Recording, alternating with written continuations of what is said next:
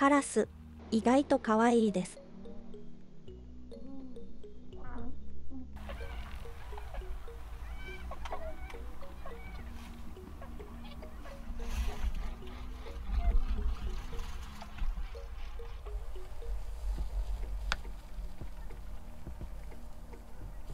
白鳥さんの着陸シーンを見てみましょ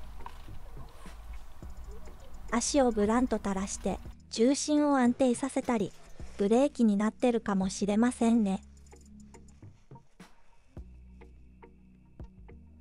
琥白鳥が大白鳥に近づきすぎました。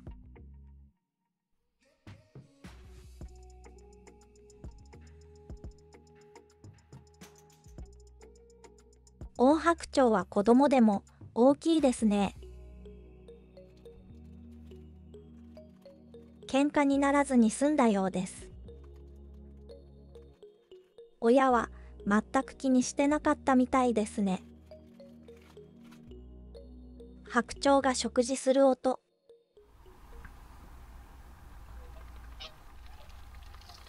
このカチャカチャしてる音がそうです。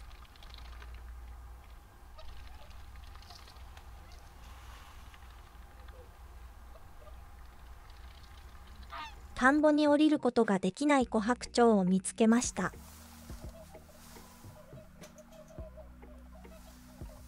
子供の白鳥が上手に降りていきます。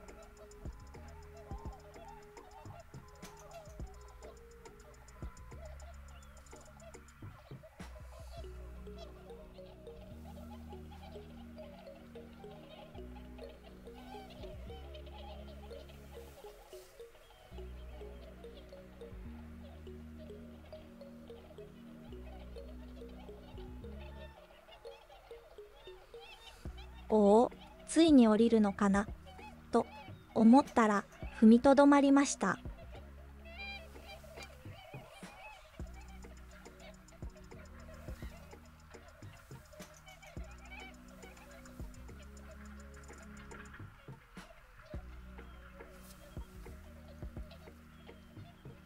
降りるかな？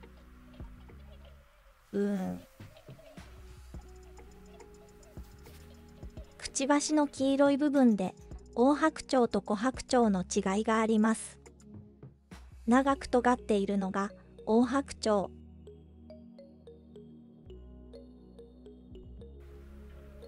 この子は小白鳥さんですね。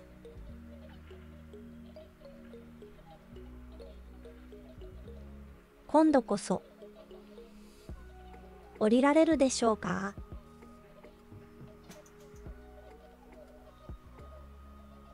やりました。よかったです。